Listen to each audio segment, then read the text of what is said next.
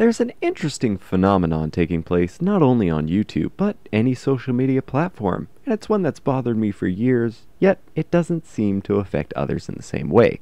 A genre plaguing the site with thousands, if not millions, of channels dedicated to this practice.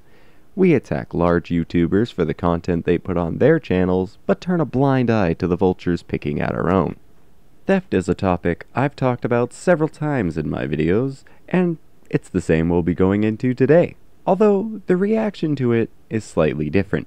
Because with channels like TSM Ninja, by 9 to 5, it's almost universal to dislike these kinds of people. Yet, for some reason, the others I'll be talking about today aren't hated, but instead are praised by most despite the similar, if not worse tactics being used. Things like clickbait, stealing, deceiving, spam, and videos with little to no effort are things we all condemn but we make a pass for compilation channels.